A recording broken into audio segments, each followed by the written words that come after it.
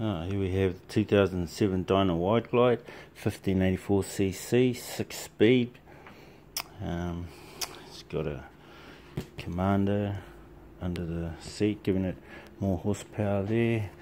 And it's got a blue LED fuel light, extra added feature with a extra thousand dollar scanner radar here, top quality, top notch. And it's got all the Willie G's. As you can see, it's got the handle grips, Willie G's, the mirrors, and that one there, the foot pegs, yeah, foot peg, gear peg, and same on the other side.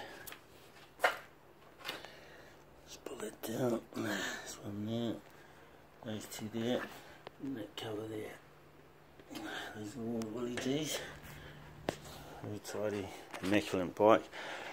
Uh, it's in miles, done 11,275 miles, which converts to 18,145 Ks.